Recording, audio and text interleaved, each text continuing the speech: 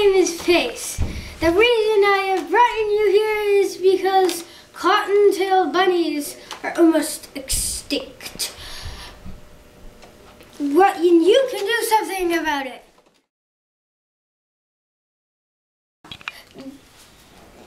Cottontail bunnies do not live in underground holes. They live in brush piles. Pete, farmers and people are destroying brush piles by clearing up their lands. Um, they're destroying their habitats.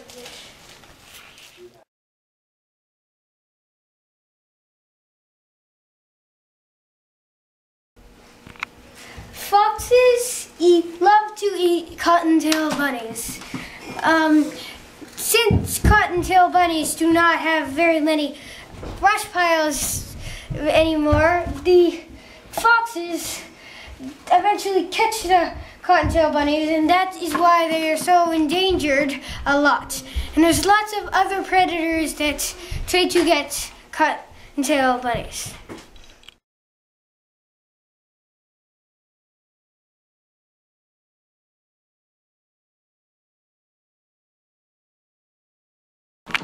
This is what you can do to help.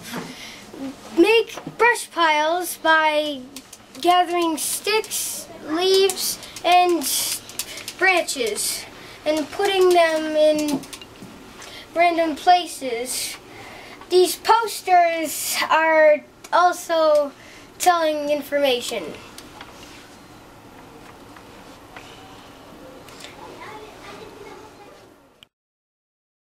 Oh, For more information for the taco, ta- cocktail bunnies, you can go to 287 8000. For more information, go to Maine Department of Wildlife.com.